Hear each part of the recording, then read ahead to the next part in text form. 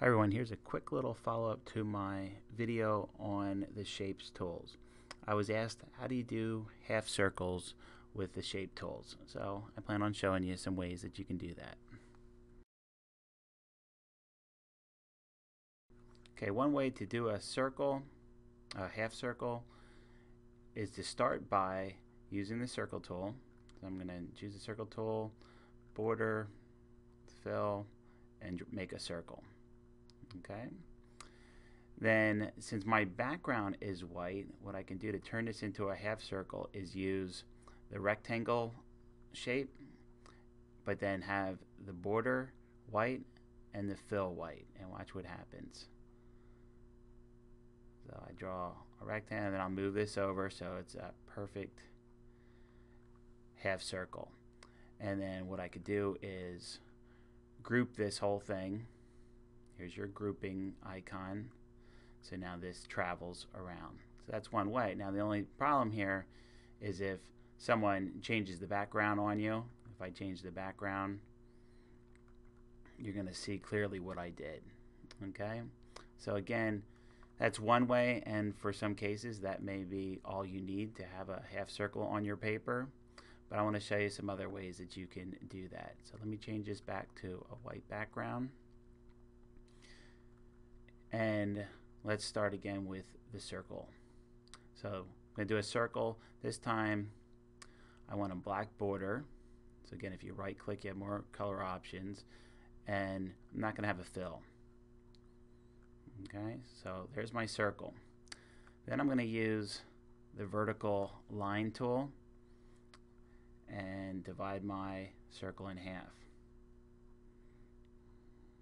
Okay, like that.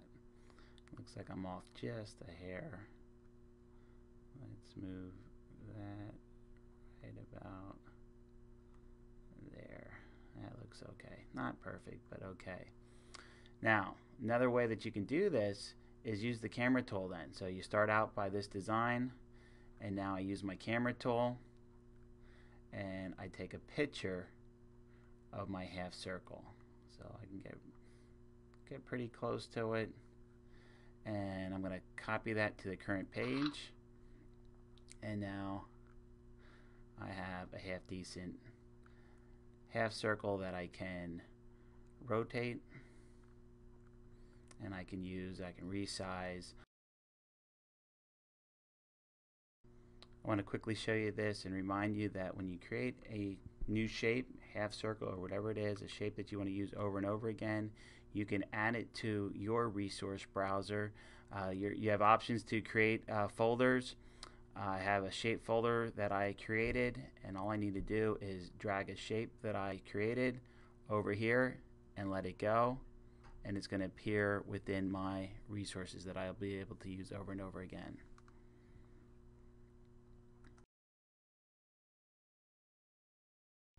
So you can see here now I added several half circles and the nice thing is I can just pull them out add them to uh, my pages. Uh, these are some half circles that I created earlier and added to my resources so that they're always there that I can then use rearrange rotate. So it's hopefully that's going to help you out a little bit uh, with the shape tools and half circles and hopefully this will show you how you can do other types. So you can basically make any type of shape that you would like.